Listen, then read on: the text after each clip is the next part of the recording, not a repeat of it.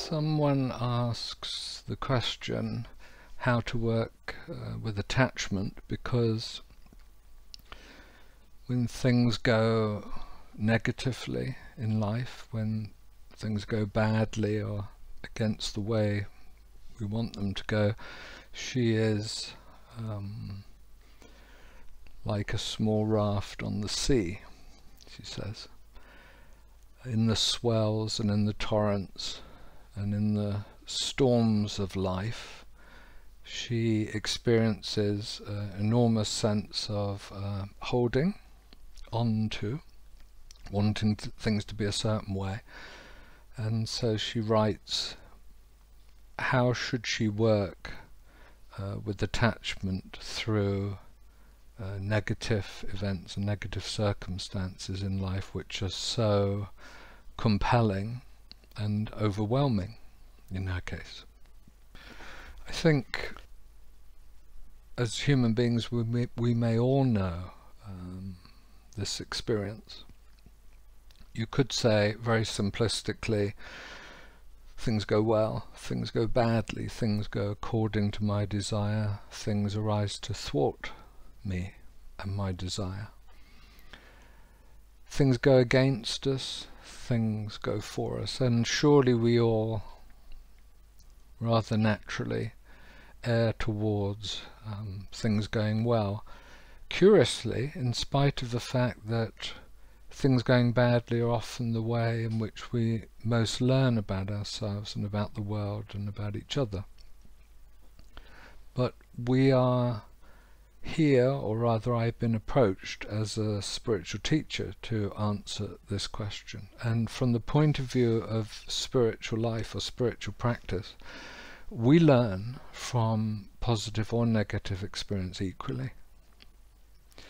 That is to say, rather being rather than being the small raft that's being tossed from side to side on the ocean that this questioner uses as a metaphor, we stand in a place of awareness itself in our spiritual life.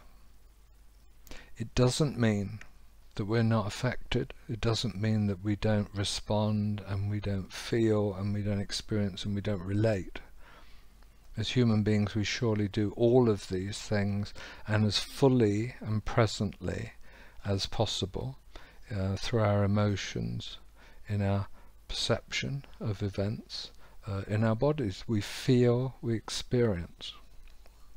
But here is perhaps the secret or the, or the issue, and that is, as attached as we are to our positive experience, so we will also be attached to the negative.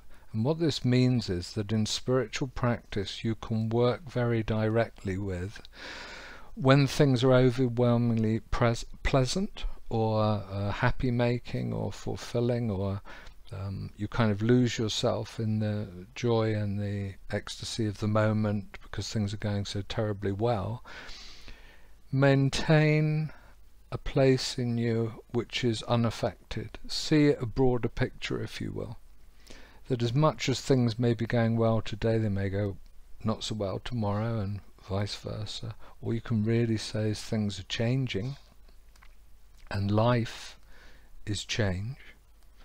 And as much as you are attached and affected and identified with the positive event, so it will be reflected into the way in which you relate to the negative.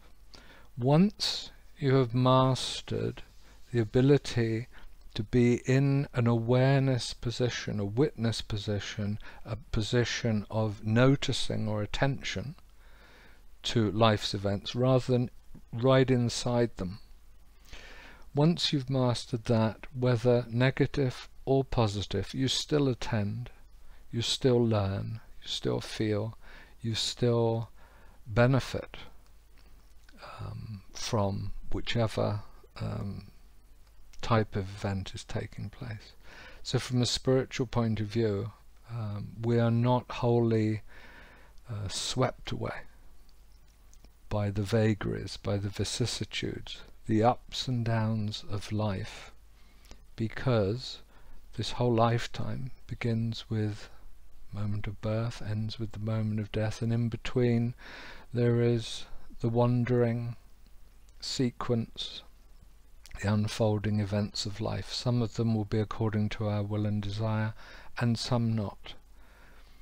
Stand in that place of awareness that observes, that witnesses, that attends to the moment, regardless of assess assessment or judgment or criticism of how that may be.